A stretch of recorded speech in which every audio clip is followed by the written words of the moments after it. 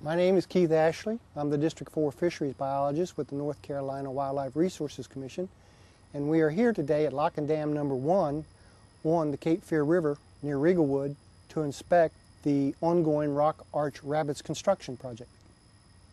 The ultimate goal of this project is to provide greatly improved fish passage past all three locks and dams on the Cape Fear River for all migrating fish species, not just anadromous fish species such as striped bass, American shad, herring, and sturgeon, but catadromous species as well, such as the American eel. Hopefully, the greatly improved fish passage will begin with this project.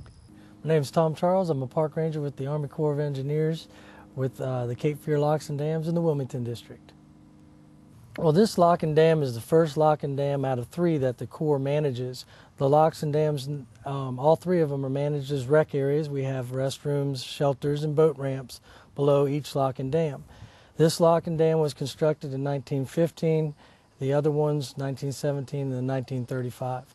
Uh, we hope that uh, when this uh, fish passage is complete to have a, a, centennial event to celebrate not just the construction of the fish passage, but the 100-year uh, anniversary of the lock and dam itself.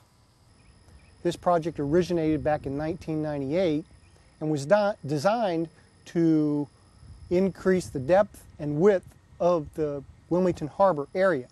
As part of that process, the Corps of Engineers had to obtain a special permit from the uh, National Marine Fisheries Service for the take of up to two endangered sturgeon.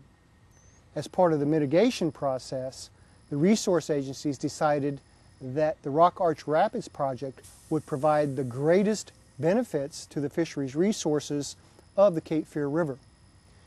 This project has been a long time in coming, but through the persistence of Wildlife Resources Commission uh, staff in inland fisheries and habitat conservation, the Rock Arch Rapids project is becoming a reality.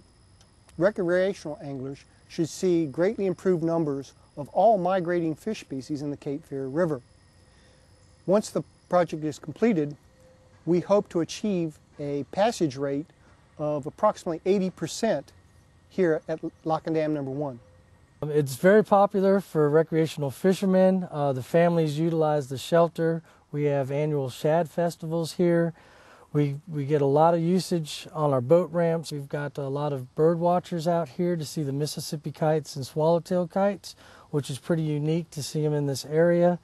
So this place has something for everybody. If you're a fisherman, a bird watcher, canoeer, or if you just want to go out and relax and get out into the woods and see the beautiful river, this is the place to come. In summary, we have very high hopes for the potential of this project successfully pass migrating fish past all three locks and dams on the Cape Fear River.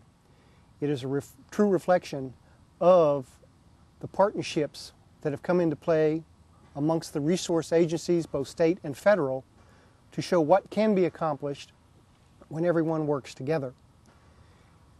It is a shining example of a true win-win situation when sensitive natural resources are faced with development activities that have the potential to adversely affect them.